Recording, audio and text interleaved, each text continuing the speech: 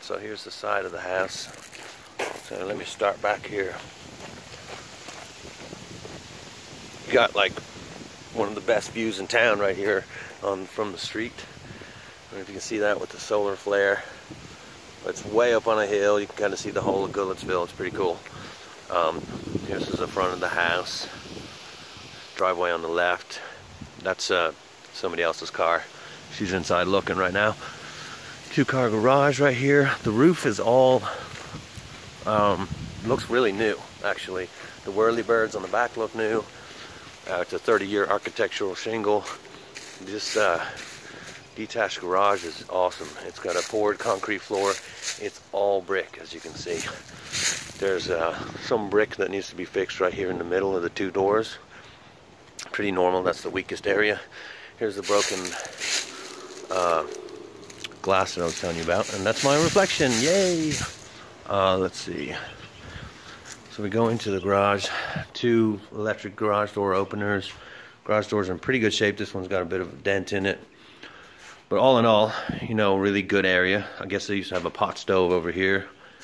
Um, but this is a lot of space. It's pretty cool. I think it's 30 by 32.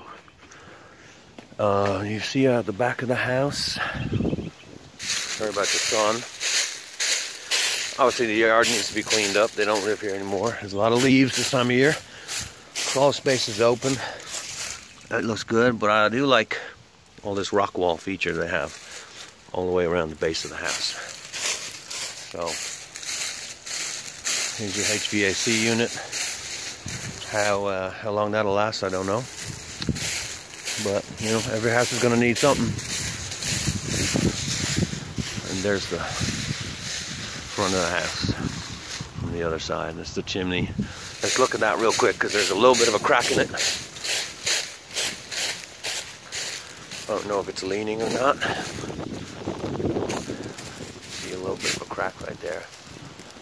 You have to, you know, have somebody look at it. But anyway, all in all, this place could be cleaned up and, and awesome. It's a really nice street. Like I said, you got really nice views up here.